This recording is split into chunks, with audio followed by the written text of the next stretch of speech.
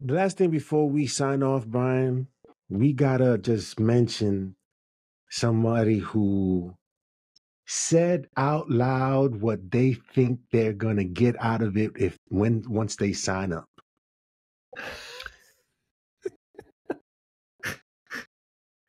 Zachary Levi, man, bitter over Shazam because he thought he was gonna be someone like Chris Evans.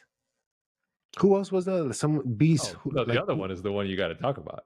So the quote one? is the quote is from Hollywood Reporter that Zachary Levi, who has effectively left Hollywood, um, got some headlines this week for endorsing Donald Trump, in which he called that quote career suicide. um, not a political comment. That's his comment, not mine. Yeah, yeah, yeah. yeah. Um, but obviously Zachary Levi was uh, he was in Thor: The Dark World, and then he becomes Billy Bats, and he comes Shazam. He and then the quote is- World?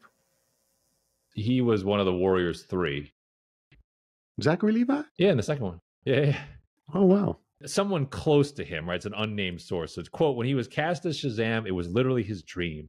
He thought this was his ticket to being Chris Evans or The Rock. But it didn't happen for him, and he's bitter about that.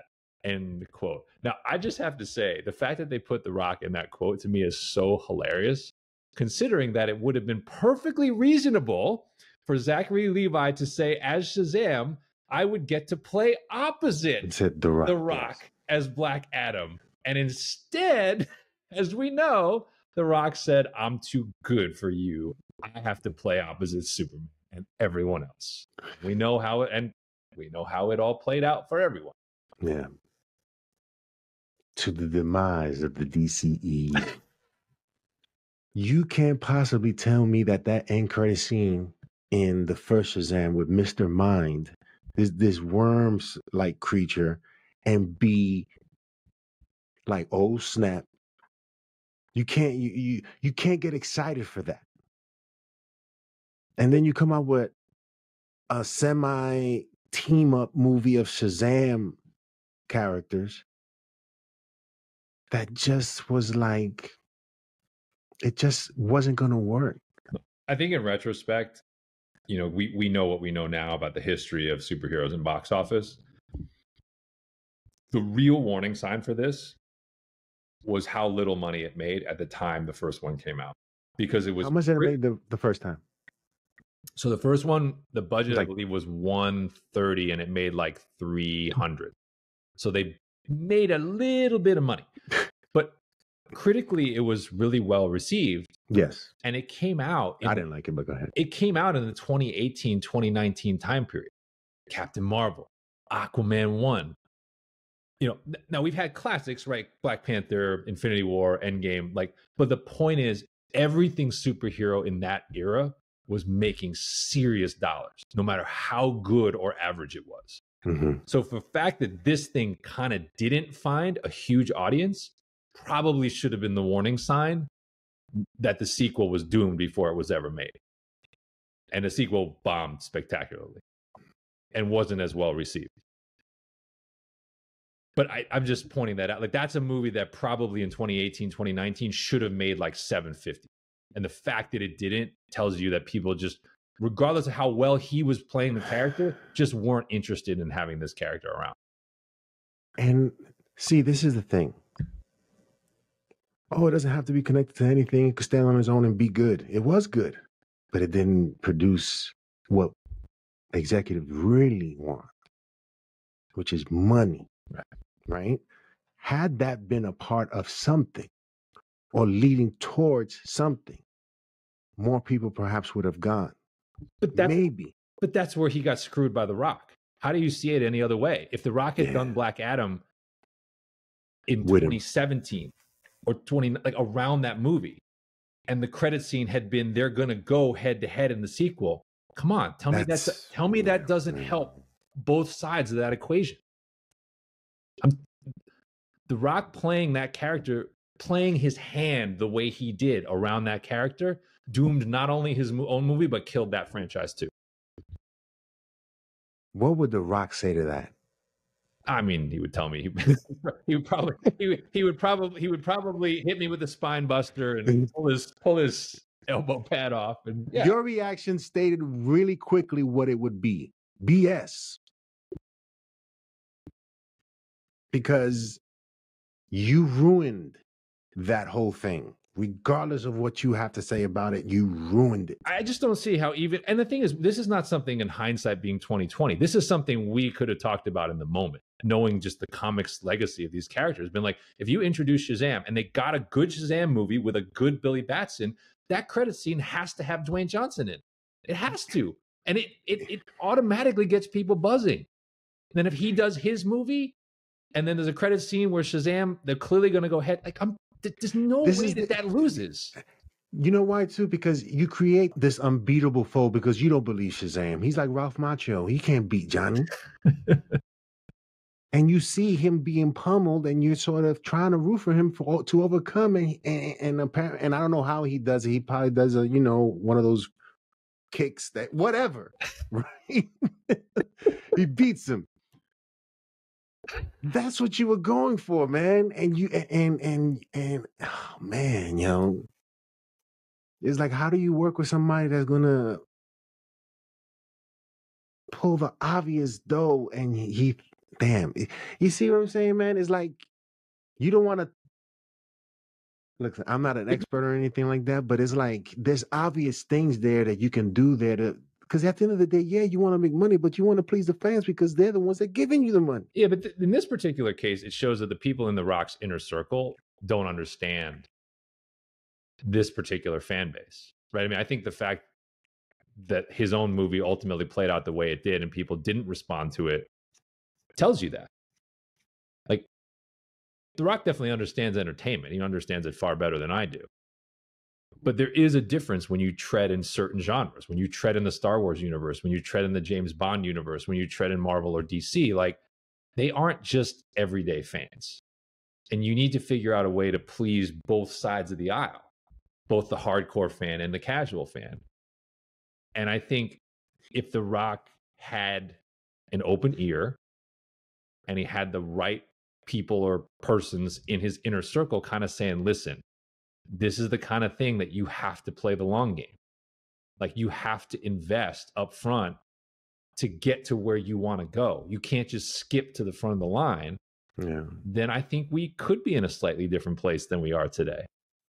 Um, but I I just think the Rock's perspective is he's the business, he's the draw, he's the thing that's going to get people in seats, and there anything else that doesn't uh, point towards him he it doesn't it's whatever i get it but i'm saying so does he understand entertainment i mean he does i don't know he does i can't i mean like by and large most people like 99.9% of people would trade careers in hollywood with the rock's career like that's it's just true. because you he's in a like, position. You can't argue that, but no, because here's the thing, Brian, that he is in a position where he calls the shots, and that's something that he set out to do. And that mentality of doing business doesn't work for everyone, as we already have laid it out with Black Adam and Shazam. It was his decision. The reason why Black Adam took so long is because he was busy with other stuff. Well, that's why I say he killed Shazam because he was Black. He was signed already years before this. Yeah, that's what I'm saying. Like, it's not a pipe dream to say that he could have been in the credit scene of Shazam and then he was already in the building signed. So but he chose correct. I don't believe.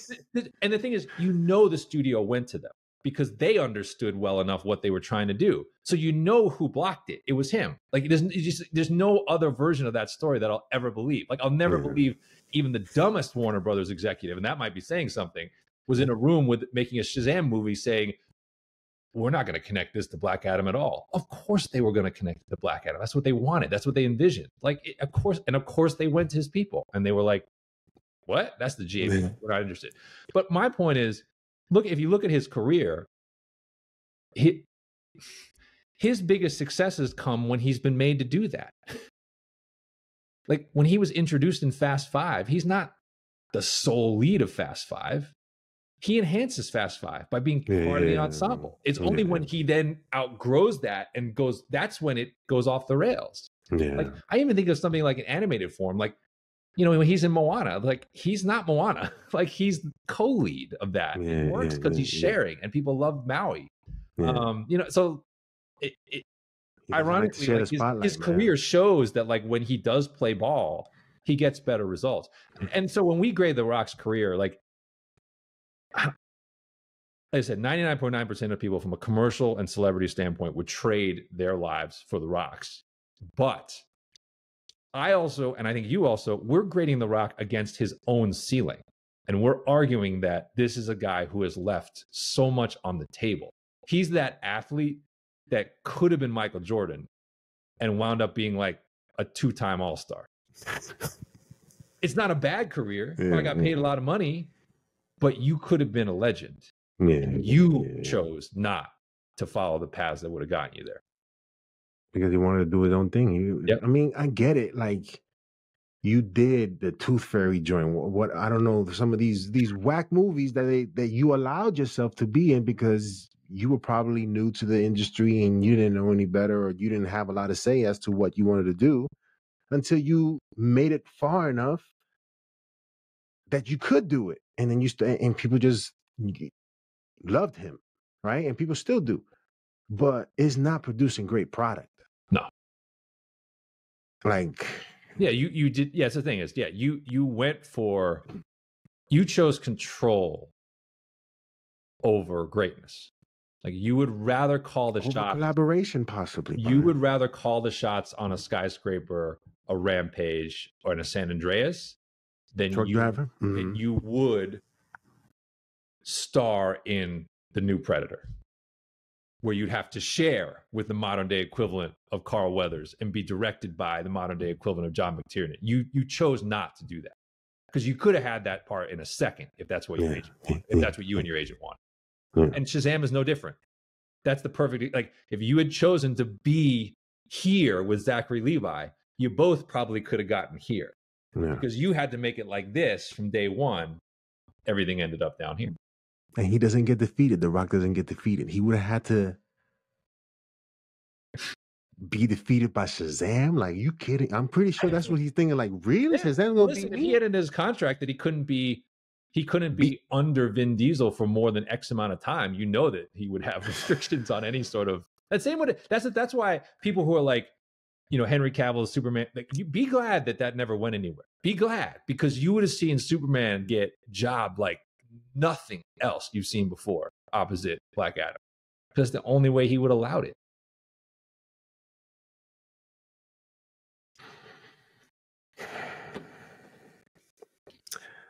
Let us know in the comment. I know this turned into something else, Have fun. but you know, we, We gotta discuss. subscribers. We got to give them range. We got to give them range. Yeah, yeah, yeah. Because you know, Shazam, man, that that could have been something, but nah, you got this worm-like creature trying to threaten. and it's like, nah, man, it's not gonna work. Um, but let us know what you guys think of that whole situation. I would be interested to know what you think about all that and how the Rock's career. Do you com- do you think who's your top three? To me, he ain't there. Top three. I like what? the in terms of action, Action. film. Yeah. To me, yo, I have I can sit and watch a whole bunch of Van Damme movies before I can watch a whole bunch Oh, of we're rock doing movies. all time. Oh, he's not even in the. He's not in the top five. That's what I'm I saying. mean, Arnold Sly, Prime Willis, Prime Van Damme, Keanu. Like I gave you five right there. It's not even like a discussion. then we can get into like, yeah, I don't know, Prime Seagal. I don't know if he's he's there, but you know, he has some good joints that you would watch though. Yeah. His joints is just I don't know.